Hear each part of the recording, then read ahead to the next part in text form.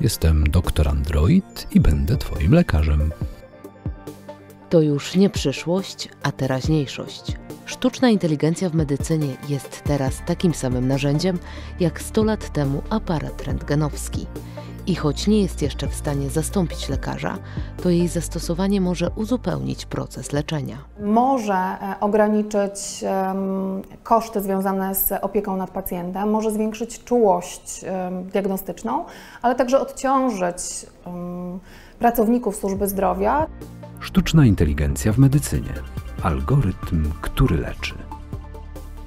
Komputery już teraz potrafią przeanalizować objawy, postawić prawdopodobną diagnozę i zaproponować leczenie. W jaki sposób? Maszyna, podobnie jak człowiek, który chce zostać lekarzem, musi się wiele nauczyć. Najbardziej zaawansowaną formą uczenia jest uczenie głębokie. wzorowane na pracy naszego mózgu.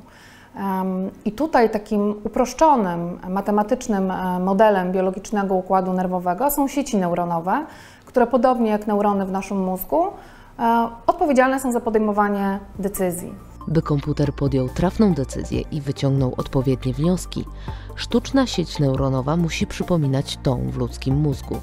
Tworzy się ją wprowadzając do pamięci komputera setki tysięcy danych. Nad takimi bazami pracuje się w wielu naukowych ośrodkach na świecie.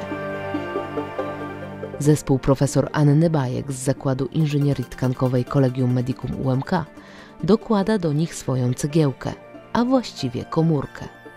W tym laboratorium naukowcy uczą komputer rozpoznawać właśnie komórki, zarówno te zdrowe, jak i nowotworowe.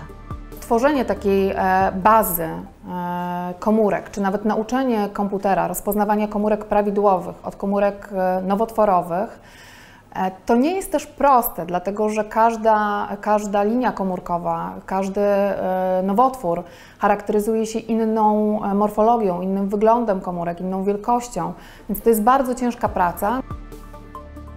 Prześledźmy ten proces od samego początku wraz z Łukaszem Kazimierskim, który na co dzień zajmuje się analizą obrazową. Po ustawieniu wszystkich parametrów obrazowania, czyli czasów, miejsc i nazw przede wszystkim, e, przede wszystkim e, rozpoczynamy obrazowanie. Na tej płytce znajduje się 96 dołków. W każdym z nich jest jedna komórka. Zdrowa, chora, uszkodzona lub zniekształcona. Zainstalowany w mikroskopie aparat wykonuje każdej z nich serię zdjęć. E, Tutaj mamy okrągły dołek. Na tym dołku widzimy, że wykonujemy serię dziewięciu zdjęć. Każde z tych dziewięciu zdjęć tak naprawdę składa się w tym wypadku z czterech kolejnych zdjęć. Co oznacza, że podczas trwającej kilkanaście minut sesji zdjęciowej mikroskop wykonuje blisko 3,5 tysiąca zdjęć.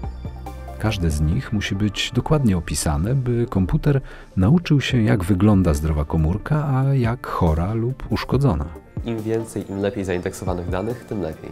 Paradoksalnie, e, czasami wejściowe dane, jeśli są dobrze zindeksowane, mogą być gorszej jakości. E, przykładowo, gdybyśmy chcieli nauczyć sieć neuronową rozpoznawać kot od psów, do stworzenia takiej sieci użylibyśmy oczywiście zdjęcia kotów i psów z podpisem kot, pies, tak żeby sieć neuronowa e, rozumiała, żeby algorytm trenujący sieć neuronową e, rozumiał, co jest czym. Natomiast nikt nie zabrania, powiedzmy, wrzucić zdjęcia kota, który jest trochę zasłonięty, zdjęcia psa, który jest trochę nieostry. Wtedy ta sieć neuronowa jest dużo bardziej, no akurat nie powiem tutaj gęsta, jest dużo sprawniejsza. Wtedy wiem, że ona prawdopodobnie rozpozna zdjęcie kota, które jest częściowo przesłonięte, zdjęcie psa, który jest częściowo nieostry i tak dalej, i tak dalej. Więc te dane wcale nie muszą być świetnej jakości, tylko muszą być dobrze zaindeksowane. A to już efekt tego, co zostało sfotografowane i zaindeksowane. Górny wykres to komórki nowotworowe, dolny prawidłowe. Naukowcy Collegium Medicum ściśle współpracują z onkologami praktykującymi w szpitalach. Programują sztuczną inteligencję w taki sposób, by odpowiadała potrzebom medyków. Jeżeli mamy na przykład widoczne em, bardzo rzadkie zmiany nowotworowe na różnych zdjęciach, tak, czy rentgenowskich, czy, czy skanach tomografii komputerowej, czy nawet USG, e, to poprzez wprowadzenie em, dużej liczby tego typu zdjęć do komputera, każdym kolejnym razem komputer będzie w stanie praktycznie w nie ma stuprocentową pewnością rozpoznać tą zmianę. Natomiast oko człowieka jest dużo bardziej e, zawodne. Więc e, poprzez wprowadzenie tego typu technologii możemy rzeczywiście uzupełnić rolę lekarza. Sztuczna inteligencja może wesprzeć lekarza również w innych obszarach, pod warunkiem, że korzysta z odpowiednio dobranych i zweryfikowanych baz danych. Takie bazy mogą zawierać karty pacjentów, recepty, skany tomografii czy zdjęcia rentgenowskie. I e, oczywiście na samym końcu tej drogi zawsze jest człowiek, zawsze jest lekarz, który będzie no, czuwał nad e, prawidłową diagnozą, natomiast zdecydowanie skraca to czas. Także doktor Android może jeszcze nie pod postacią humanoidalnego robota, a wyjątkowo złożonego algorytmu, może stać się pierwszym ogniwem, który wstępnie wykluczy lub potwierdzi diagnozę. Chcesz być na bieżąco z naukowymi nowinkami?